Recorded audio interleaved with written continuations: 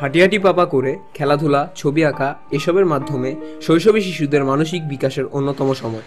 অথচ অতিরিক্ত বই ও পড়াশোনার চাপ তাদের মানসিক বিকাশের অন্তরায়। পড়াশোনা বাদ দিয়ে সারাদিন শুধু খেলা আর ছবি আঁকা কিচ্ছু হবে না তোমাকে দিয়ে। পারিপার্শ্বিকতার চাপে পড়ে আমাদের মতো লক্ষ লক্ষ তরুণদের স্বপ্ন আজ ভেঙে যাচ্ছে। হতে পারতাম আমিও একজন রোনালদো কিন্তু সমাজ কি বলবে? সে ভয়ে বলটা আজও ঘরের এক কোনায় পড়ে আছে। হতে পারতাম আমিও একজন পাবলো পিকাসো, কিন্তু জীবনের রঙগুলোই যেন শুকিয়ে যাচ্ছে। তাই বলে আর থেমে থাকা নয়।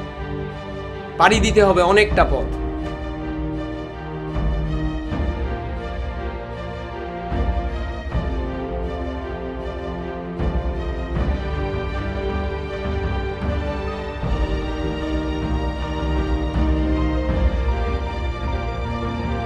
যে স্বপ্নগুলো আমরা দেখি দুটি চোখের মাধ্যমে, ঠিক সেই একই স্বপ্ন দেখবে লক্ষ কোটি চোখ।